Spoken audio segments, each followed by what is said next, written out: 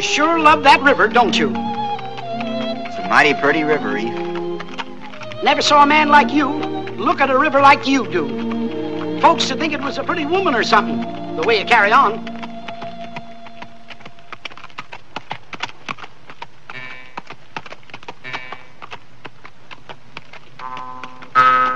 How come they call that thing you're playing a Jew's harp?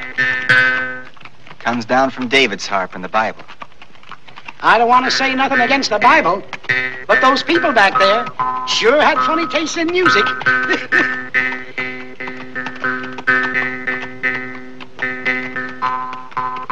What's that tune you're playing? Don't know. Catchy, though.